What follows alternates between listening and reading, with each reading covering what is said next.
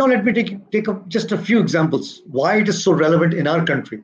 For example, rheumatic heart disease in South Asia, if you see uh, this week's issue of um, uh, circulation, they have said more than 3 million deaths globally and loss of 10 million disability adjusted life years occur because of rheumatic heart disease. Well, you can diagnose rheumatic heart disease very easily with echocardiography. Here is a patient with mitral stenosis. But if you take two steps backwards, patients who have even thickening of the mitral leaflets, you can diagnose. And you can save these patients just by the use of Penidure injections, by penicillin. Other valves as well. You can diagnose uh, mitral regurgitation very clearly. And you can diagnose aortic stenosis as one example I'm showing you.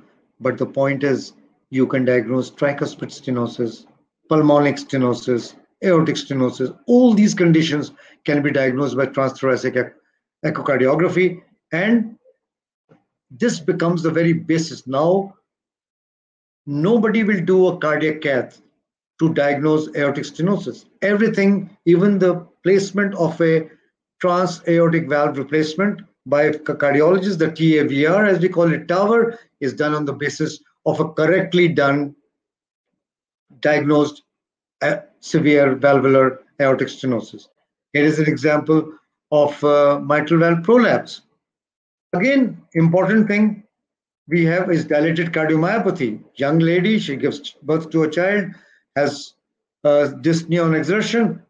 The obstetrician calls you just by this.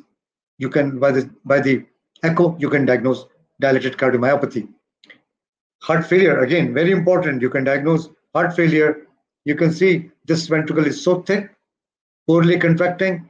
Heart failure with reduced ejection fraction, heart failure with preserved ejection fraction, heart failure with mid-range ejection fraction are all based on 2D echo delineated ejection fraction.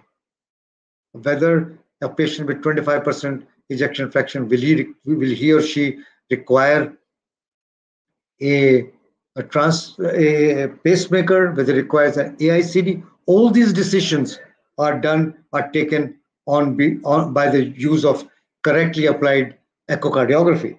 So you see how much how much difference you can make to a person's life by doing echocardiography and clinical cardiology. Again, diastolic function, as I've already alluded to, is again extremely important. Patients with diabetes mellitus come to us to you with breathlessness, and you can always say, well, angiography is normal, here it is, it's because of diastolic dysfunction. Longitudinal strain is again something which you can do just by 2D echocardiography at the bedside and you can demonstrate that even though ejection fraction may be normal, uh, you can actually say if there is ventricular dysfunction because of global longitudinal strain may be decreased. This is called GLS, global longitudinal strain.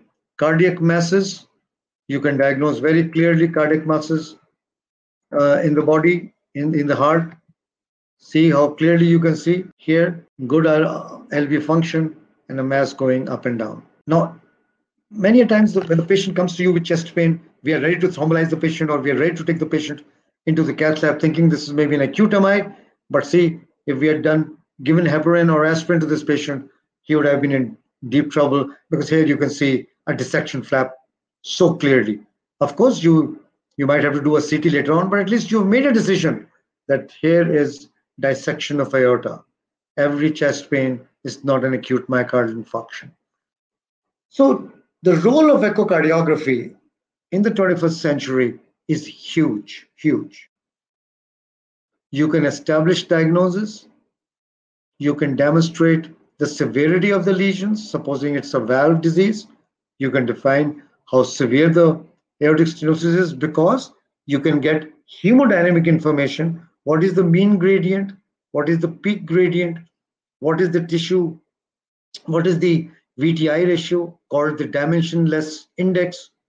And that will help you in planning the course for this patient. Every patient with aortic stenosis will not, if it's not severe enough or aortic regurgitation, for example, will go for medical therapy and will come to you six months or three months.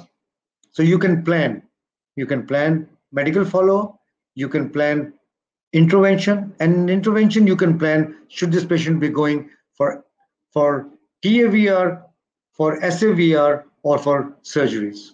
And therefore, echocardiography has helped you in overall management of the patient.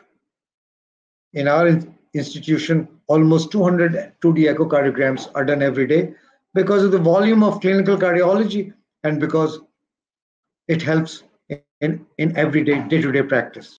Heart disease, as Picone said in the JACC editorial, is the number one cause of mortality worldwide. If you look at India, India has the highest rates of cardiovascular disease, uh, much above cancers and other uh, chronic respiratory illnesses. And worldwide, 50% of all cardiovascular disease is as a result of cardiovascular disease. India currently has the highest burden of ACS and STEMI, and STEMI is the common form of presentation, accounting for two thirds of patients of acute MI. You can easily pick up a regional wall motion abnormality in a patient who comes to you with chest pain, and you can direct the patient right for to the right place.